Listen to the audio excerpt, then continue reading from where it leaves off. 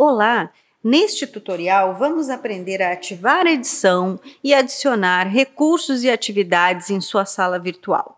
Então, primeiramente, precisamos ativar esse botão de ativar edição.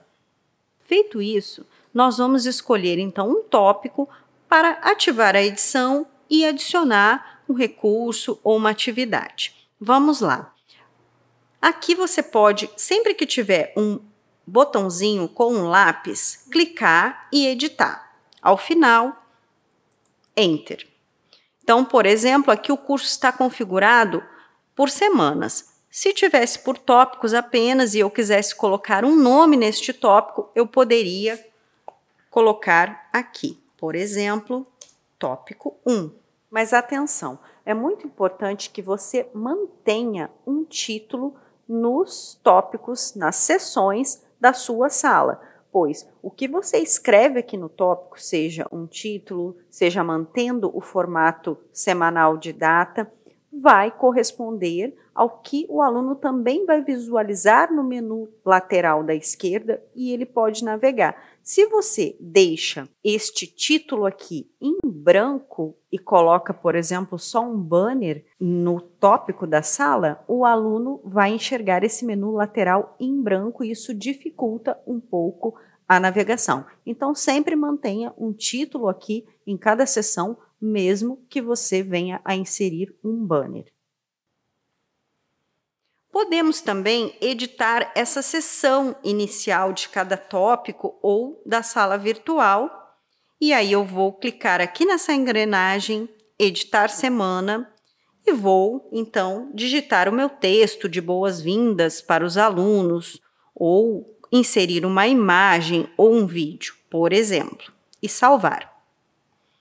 Vejam que o meu texto já apareceu aqui. E dentro deste tópico, eu posso então adicionar uma atividade ou um recurso clicando aqui neste sinalzinho de mais onde diz adicionar atividade ou recurso. Aqui eu posso ver todas as atividades ou recursos disponíveis nessa versão, ou eu posso clicar somente em atividades ou somente em recursos. Então, por exemplo, aqui eu vou adicionar uma nova página. Vou dar um título para essa página e vou escrever o conteúdo dessa página e vou salvar e voltar. Aqui já está o meu recurso. Uma outra possibilidade também nesta versão é arrastar e soltar arquivos. Então, por exemplo, eu vou minimizar a tela aqui e arrastei um arquivo que seria um recurso aqui para o meu tópico.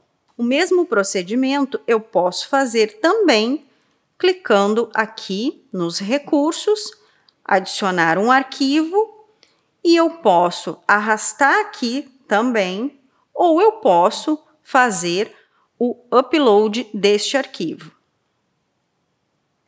Para adicionar atividades, o procedimento é o mesmo. Então, eu vou escolher atividades, posso filtrar aqui, vou escolher, por exemplo, aqui uma tarefa e vou fazer as configurações necessárias e no final vou salvar e voltar aqui está a tarefa. Uma opção também que nós temos na edição da sala virtual é, uma vez que o seu tópico já está pronto, mas ele ainda não será mostrado aos estudantes, você tem a opção de esconder essa semana. Então, você já editou a sua sala, ela está pronta, mas este tópico, por exemplo, ainda não vai estar disponível para os estudantes. Então, é só ocultar.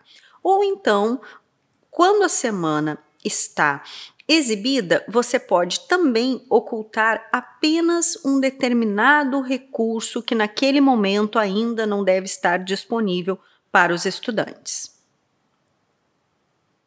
Outra questão importante também é a possibilidade de você duplicar os recursos. Então, por exemplo, você vai precisar de três páginas neste tópico. Você pode criar a primeira com as configurações que você deseja e duplicar esse recurso para que depois você apenas edite.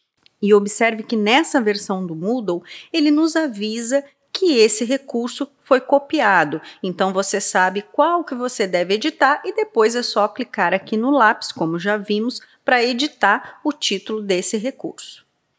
Então, para finalizar, lembrando que aqui temos atividades e recursos. Os recursos você pode utilizar para disponibilizar o conteúdo e as atividades, então, como atividades de aprendizagem, atividades avaliativas, da forma que você considerar mais adequado no seu curso ou na sua disciplina.